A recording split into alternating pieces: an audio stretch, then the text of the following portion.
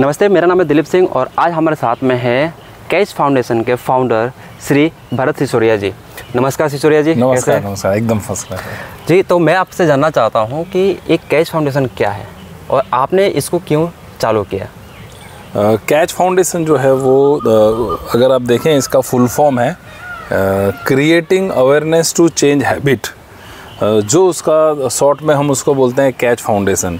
और ये संस्था हमने जब शुरू की थी तो नरेंद्र मोदी जी हमारे प्राइम मिनिस्टर हैं। उनके स्वच्छ भारत मिशन के साथ हम जुड़े थे और उस मिशन के साथ जुड़कर हमने मेरा स्वच्छ मोटेरा करके एक अभियान हमने, एक मूवमेंट हमने चलाई थी।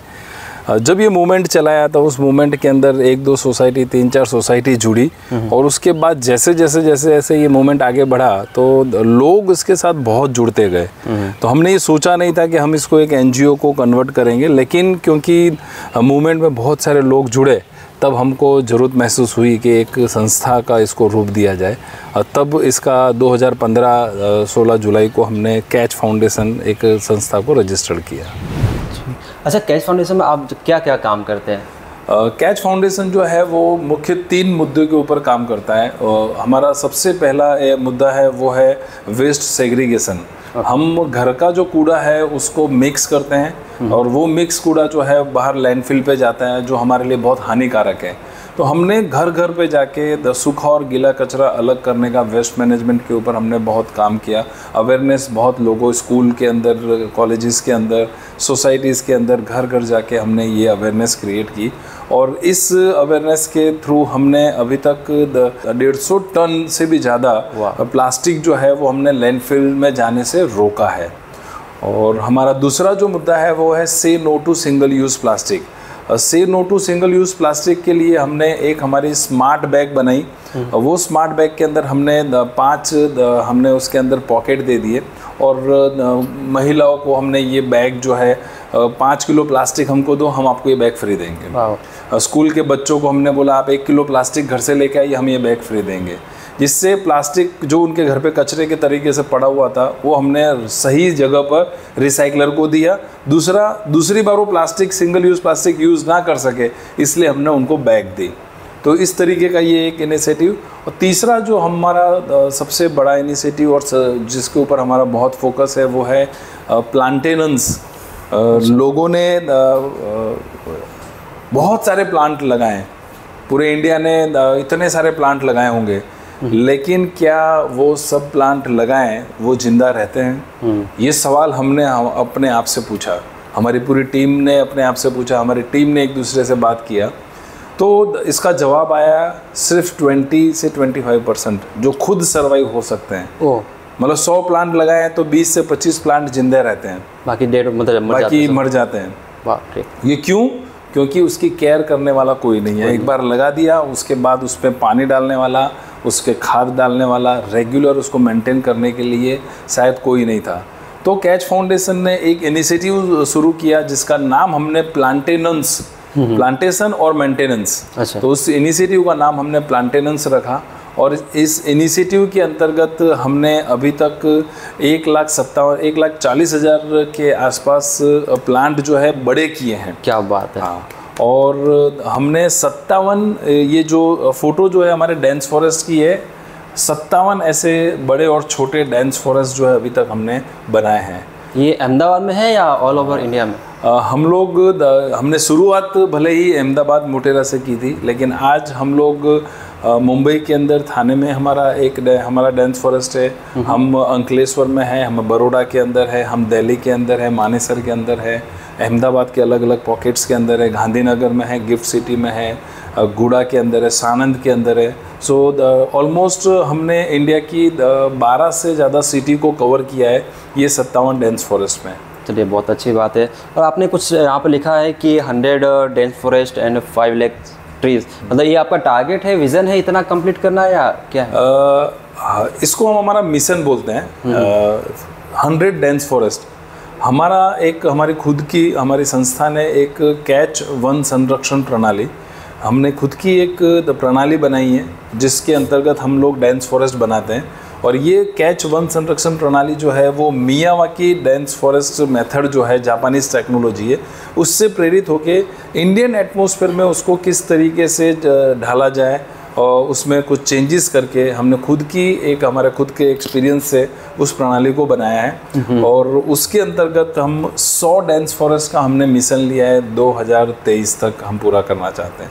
ओके यानी आने वाले तीन चार महीने में हमारे पास जो भी रिमेनिंग है वो पूरा हो जाएगा। राइट सर और ये प्लांट्स में सर आपने पाँच लाख लिखा है ये कितने अभी हो चुके ये one forty two one lakh forty two thousand plant जो है वो हमने हम उनको मेंटेन कर रहे हैं अभी तक। मेंटेन कर रहे हैं। हाँ जी। ओके चलिए बहुत ही और इसका जो जो मिशन है कब तक कंप्लीट करना है पाँच हम लोग ये दिसंबर का हमारा एक मिशन है कि दिसंबर 2023 खत्म होते होते हमको 100 डेंस फॉरेस्ट और पाँच लाख ट्री जो है उसको मेंटेन हमको करना है। ये हमारा एक मिशन है। ऑल द बेस्ट इसके लिए thank you so much thank you so much अच्छा एक और इसमें से सवाल आता है कि आपको ये डेन फॉरेस्ट बनाने के लिए ज़मीन कहाँ से मिलती है?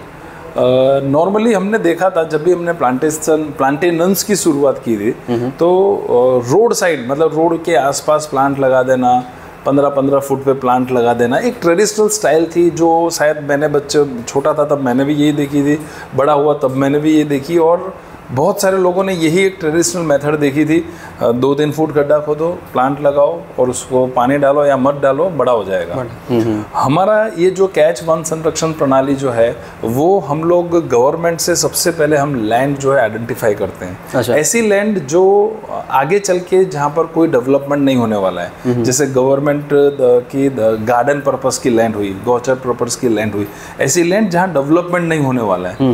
वो गवर्नमेंट से हम लोग लेते हैं। और उनके उसके सामने हम गवर्नमेंट को बोलते हैं कि आपकी इस लैंड को हम लोग डेवलप करके देंगे। यहाँ पर एक डेंस फॉरेस्ट बना के तीन साल तक उसको मेंटेन करके जब ये डेंस फॉरेस्ट सेल्फ सस्टेनेबल हो जाएगा तब हम वो डेंस फॉरेस्ट को वापस गवर्नमेंट को यानी उसको हैंड ओवर कर हैंड ओवर कर उसका मेंटेनेंस ऑफ़ कुछ गवर्नमेंट करेगी या कुछ अगर ज़रूरत पड़ती है तो?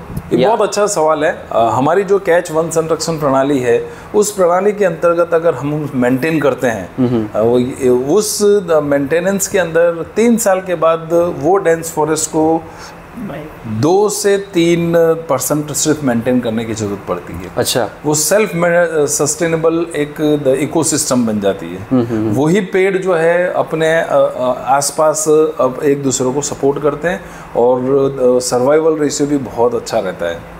चलिए बहुत ही अच्छी बात है अच्छा इसमें से मुझे एक और भी बहुत सारे क्वेश्चन आए आ रहे हैं मैं आपसे पूछता रहूँगा हाँ। इसके पीछे खर्चा भी बहुत होगा जैसे कि गवर्नमेंट ने आपको ज़मीन दे दिया हम्म। उसमें आपने प्लांटेशन किया उसको मेंटेन किया हम्म। इसके पीछे जो खर्चे आते हैं पैसे फाइनेंशियल सपोर्ट आपको कैसे होते हैं ये हमने देखा है कि प्लांट लगाने के बाद जो मेंटेनेंस प्लांट लगाना बहुत ईजी है लेकिन सबसे इम्पोर्टेंट उसको मेंटेन करना तो हमने जो तीन साल का मेंटेनेंस की जो एक प्रोसेस बनाई है, उस प्रोसेस का हमने एक सर्टेन अमाउंट हमने डिसाइड किया कि इतना अमाउंट जो है, वो तीन साल तक एक पेड़, एक पौधे को चाहिए होता है। तो हम लोग कॉरपोरेट्स के पास जाते हैं। सबसे पहला हमारा फंड हम कॉरपोरेट्स के पास जाते हैं। सीएसआर में उनसे रिक्वेस्ट करते हैं। तो सी एस आर के अंतर्गत हमारे साथ एल एन टी है ग्लैनमार्क है मिप्सुबिसी है ओ एन जी सी है अच्छा। ऐसी बड़ी बड़ी डेढ़ सौ से भी ज़्यादा कंपनीज़ जो है हमारे साथ जुड़ी है।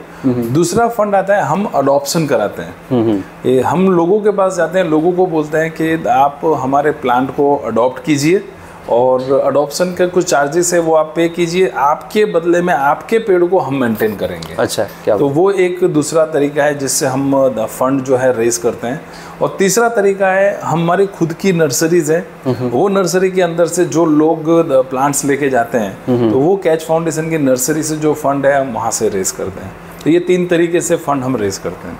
अच्छा आपने बताया अडोप्शन के लिए। तो अगर सपोज़ जो भी हमारे व्यूवर है वो आप अडोप्ट करना चाहते हैं तो किस तरह से आपके साथ जुड़ सकते हैं और अमाउंट क्या हो सकता है अगर बता पाए आप तो? हमारी वेबसाइट पे अडोप्ट ट्री करके एक W W W catch foundation dot in website हमारा एड्रेस है। उसमें अडोप्शन की एक लिंक है।